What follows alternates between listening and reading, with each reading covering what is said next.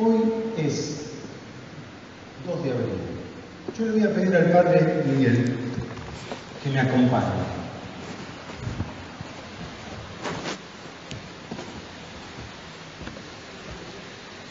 Porque nosotros somos cristianos que vivimos en una sociedad en la cual participamos y en la cual tenemos cierta responsabilidad también.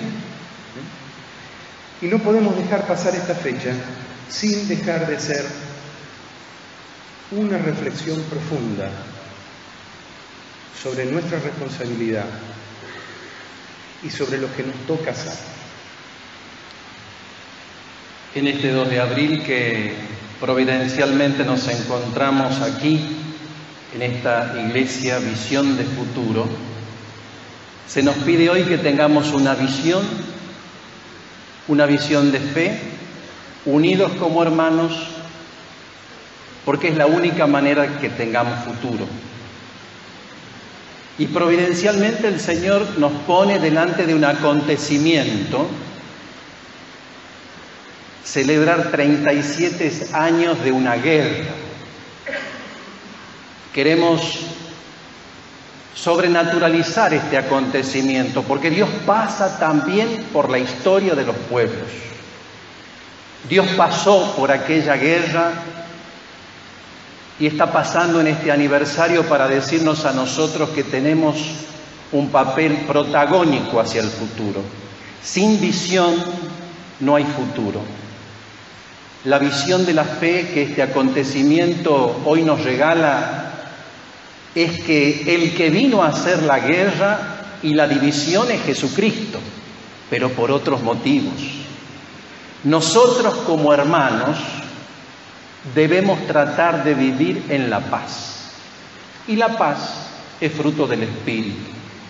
Ese es el Espíritu que nos convoca en esta celebración, por eso también queremos hacer de este acontecimiento de fe, esta oración cristiana, hacer un mea culpa por todo lo que no hemos hecho con nuestros hermanos que nos han defendido en las Malvinas.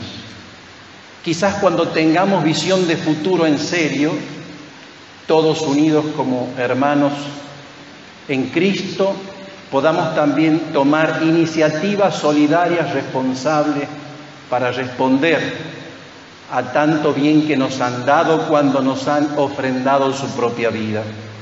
Ojalá que este acontecimiento, hermano, nos, dé el espíritu verdadero que hace falta en este tiempo para unirnos, no para dividirnos, para juntarnos en lo que nos hermana.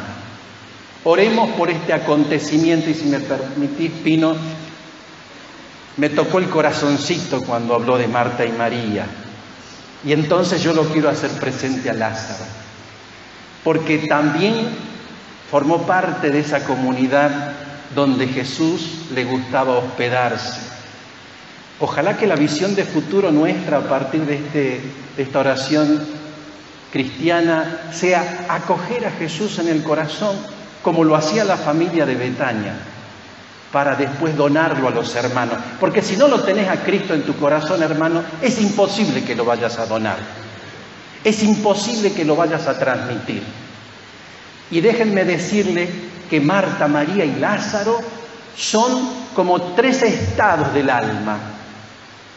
Todos pasamos por el activismo, por la vida contemplativa y estamos llamados a la muerte mística. El cristiano del siglo XXI o será místico o no será nada. Y a eso están invitados ustedes, juntos conmigo. Confiemos en el Padre de la Misericordia y Dios de todo consuelo, ese que nosotros le creemos, a quien seguimos porque hemos tenido una experiencia de vida que nos ha transformado la vida. Él es la buena noticia. Él es el Salvador. En la medida que te convenzas de esto, hermano, vas a darlo gratuitamente y se terminarán las divisiones entre nosotros y se terminarán las guerras en nosotros. Ojalá que traigamos la guerra del Espíritu que Jesucristo ha venido a hacer arder en nuestros corazones. Fuego he venido a traer a la tierra y quiero que arda. Bendito sea el Señor.